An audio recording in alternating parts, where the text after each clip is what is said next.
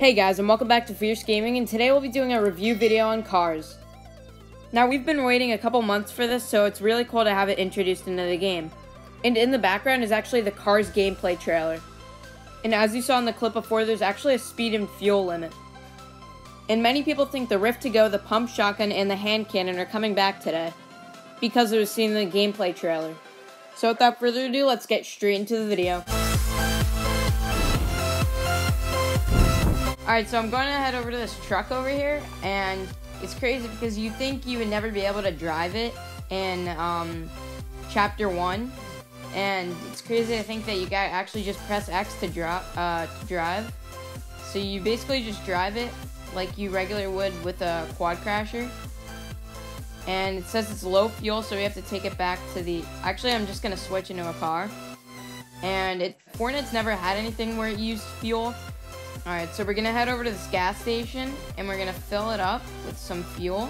So this is basically how you fill it up with fuel. You grab the pump and then you basically just press um, this and spray it all over your car. It's, it's a little weird. I would think you put it in something, but um, this is just how uh, Epic did it and it, it doesn't take too long. It took about uh, 15 seconds for me to get that.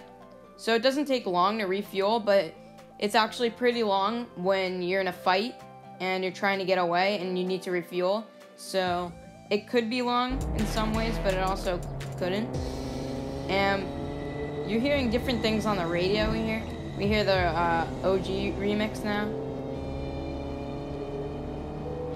Which is really cool. I feel like the um, addition of the radio is probably the best thing about cars and transportation is going to be so fast now that cars are in the game.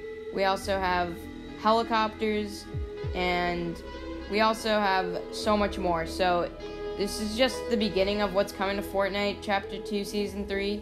And in a month or two, we're going to have Chapter 2 Season 4. One thing that I forgot to mention is when you run out of fuel, it doesn't actually let you drive. It doesn't blow up either. So it's actually cool that you, like it doesn't have to blow up and you take damage or anything.